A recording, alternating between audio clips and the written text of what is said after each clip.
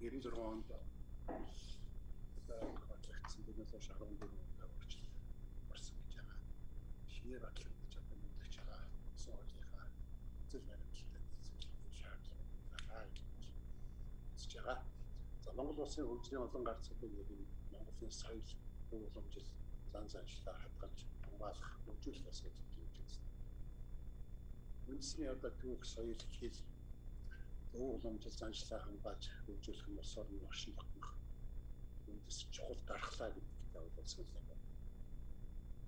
Тогтвортой хөгжил 2030-д бол Монголын соёлыг жуулчны салбарын бодлого тавьж хөгжүүлэх тухай үр ашигын нэмэгдэж тухай бол заасан байна. Энэ бол зөв зөвтэй маань байна. 21-р зууны иргэдийг төлөвшүүлэхэд соёлын уламжлалаа дээд чухал ач холбогдолтой гэж үзэж байгаа. Соёл урлагийн байгууллагууд аян жуулчдын салбартаа хамтарч ажилласнаар нэгдүгээр ажиллах юм боломжтой байсан юмаа гэсэн ийм ойлголт байна. Ингээд хэд хэдэн асуулт байна. Нэгдүгээр нь соёл урлагийн байгууллагуудын тулгуурласан хамгийн чухал асуудлуудын нэг нь санхүүжилтийн асуудал улсын төсвөөс дэмжлэгийн тэр үйлчлэн баримттай бодлого төслийг харж байгаа. Улсын орлого нь бол санхүүжилтийн гол эрхүүлсээр болдог болж өөрөө өөрийгөө санхүүжүүлэх чадахгүй байна. Тэгэхээр санхүүжилтийн ямар одоо нэмэлт одоо ямар хэлбэрүүд байж болох дэлхийн улс орнуудад одоо Монголын одоо онцлогтой ямар хэлбэрүүд байж болох гэсэн ихний асуулт асуулт байна. Хоёрдугаарт нь бол соёл урлагийн шинжилгээ технологийн онцлогийг нэвтрүүлэх талаар ямар асуудал хуулийн төсөлд одоо явж байна гэсэн. Төмөр гүшүүн нэмэлт нэмэн одоо. Урд асуудал. Урд асуудал. Явж гэнэ явж гэнэ яваар яриа. А урд асуудал соёл урлагийн ажилтнуудын нөхцөл чадварыг дэвшүүлж бидний үр дүн бодтой үнэлэх чиглэлд одоо ямар шин зүйлүүд яаж тусгаж орж ирж байна гэсэн ийм асуулт. Өөрөөх нь бол даяарчдын нэг ус дорн янз бүрийн одоо урсгал орж ир зарвчуд бөөлөө одоо татагдах нь одоо ихсэж байна. Тэгэхээр энэ чиглэлд одоо ямар бодлого байна? Тавдугаарт нь үндэсний бахархал гэж байна. Түүнийг одоо тодорхойлох тогтоох ажил ямар төвшин байна?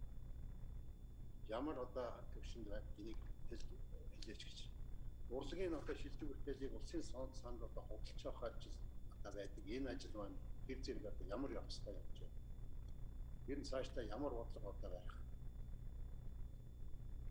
энэ асуултууд хариулт болж.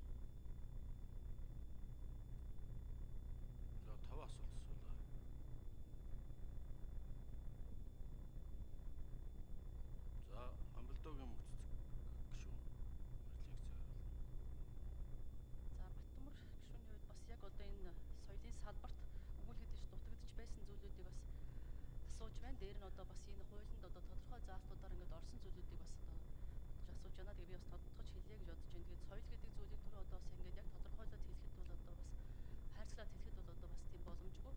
Мэдээж одоо үндсэн хууль, үндсэн хуулийн дараагаар одоо эцэг хууль гэж үндсэн хуулийг хэлдэг. Бид нар одоо их соёл үйлчлдэггүй тийм одоо салбар иргэн нэгч одоо байхгүй учраас бол их хууль гэж соёлын хуулийг бол одоо бас үзэхэд одоо бүрэн үнэлтэй юмаа гэж ингэж үзэж байгаа маа. Тийм учраас өнөөдөр энэ одоо шинээр орж ирж байгаа соёлын хуулийн дотор одоо ийм зохицуултуудыг бас соёлын байгууллагуудын одоо чадахжуулах соёлын байгууллага одоо хүн ард иргэдийн хоорондын харилцааг бас чухалчилсан ийм залтуудыг бас нэлээд тусгаж орж ирсэн. Түр иргэн хуулийн этгээдийн эрх үүргийг одоо бас нэлээд өндөрсгөж өгсөн байгаа. Мөн дээрэс нь одоо энэ соёлын байгууллага соёл гэдэг өөрөө бол одоо мөн эдийн засгийн эргэлтэнд орох хэрэгтэй гэдэг зүйлийг бол нэлээд сайн чухалчилж өгснөөр бас нэлээд давуу талтай юм болсон байгаа. Мэдээж олон улсын жишгийг бас нэлээд сайн судалсан.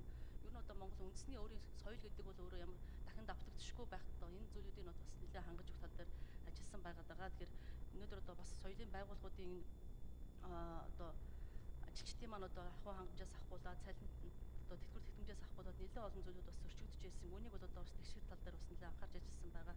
Тэгэлээд одоо энэ соёлын байгууллагад ажиллаж байгаа ажилчин албан хаагч тэр тусмаа одоо төвөөс аслагдсан одоо соёлын байгууллагад ажиллаж байгаа ажилчдынхаа 5 жилийн одоо тэтгэмжтэй дүүцэх хэмжээний тэтгэлэг болгодог энэ хуулийн зохицуултыг бас энэ хуулиар хийж өгсөн байж байгаа. Мөн дээр нь одоо соёл урлагийн байгууллага маань өөрийнхөө одоо орлогоос илүүчилж одоо соёлын уран бүтээлээ хийх энэ болцоо нөхцлүүдийг бас дээшлүүлж өгсөн байж байгаа. Мөн соёлын одоо байгууллагад оруулж ирж байгаа тоног төхөөрөмж одоо мөн энэ тал дээр гайлын татвар одоо хөнгөлтийг үзүүлэх тал дээр бас нэлээд чухалчсан заалтуудыг оруулж ирсэн байгаа. Мөн одоо соёлын хяналтыг сайжруулах тал дээр бас одоо анхаарсан ийм одоо заалтууд саналтын соёлын байцаагчтай болё гэдэг заалтууд гэдэг ингээд нэлээд олон орхигдсон байсан зүйл заалтуудыг бас энэ өгсөн байгаагаараа бас давуу талтай байгаамаа. Тий. За дээр нэмээд одоо яг өнөөдрийн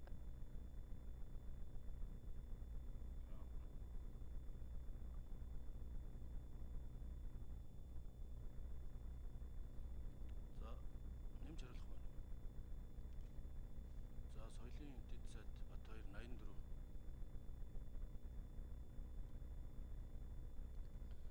За тэгэхээр Тутмар гишүүнээс чухал асуудал хөндөж байна.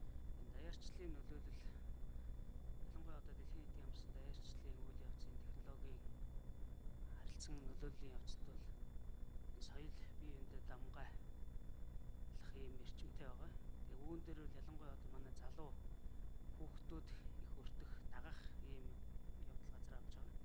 Тэгээ энэ дээр бид нар одоо нэгдүгээрт бол соёлын өвийг төрийн онцгой анхаарал ивэлд байлгах, за мөн соёлын өв, соёлын үнэт зүйлээ судлах, өвлөх, уламжлуулах энэ нөхцөлийг бүрдүүлэх замаар соёлын дархлаа бүхий Монгол хүнийг төлөвшүүлэх гэдэг ийм нэг талаасаа харин нөгөө талаасаа бол одоо хүн төрөлхтний болон үндэсний соёлын хэрэгжлийн ололт, соёлын үйл ажиллагааны үр шимийг хүртэх, авяас чадвараа нээн хөгжүүлэх, энэ нөхцөл бололцоог хөгжүүлэх ийм цогцоор нь бүх залуучууд руугаа чиглэсэн ийм бодлогыг оруулж ирж энэ дархлаа давмгайллыг дэмжих ийм зохицуултад орсон байгаа хэлье.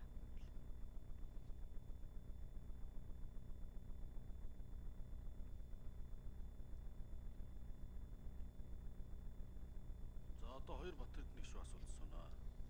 Эхлээд Бадмааны мөгийн бат эрдэнэ шүү. Гүшүүн Бадмааны мөгийн бат эрдэнэ.